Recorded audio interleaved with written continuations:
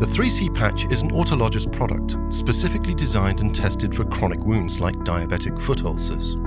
Open the 3C patch kit and ensure all components are available.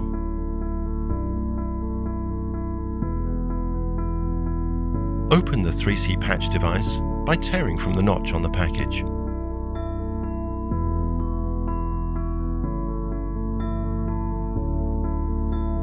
Open the winged blood sampling set and attach it to the needle holder. Follow your existing clinical procedures for drawing blood. Make sure the blood can be seen in the yellow tubing before locking the device into the needle holder. Fill the device until it automatically stops filling. Remove it from the needle holder and remove the needle from the vein. Open the centrifuge, placing the device within 5 minutes. Ensuring the guide is in the one dot position, gently click the device into the selected track. Place the counterweight opposite the device. Close the lid and press start. The display will count down from 8 minutes,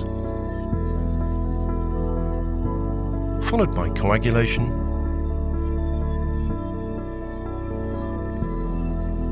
and compaction. When compaction is complete, the lid will open automatically. Remove the device, ensuring the filter has risen to the top. At the treatment table, open the lid. Remove the patch, placing it filter side up. Measure the wound and if needed trim the patch to fit. Apply the filter side of the patch directly to the wound surface. Cover the patch with a non-adherent primary wound cover dressing and secure it in position. Apply a secondary dressing to control wound exudate. The patch is usually left in place for one week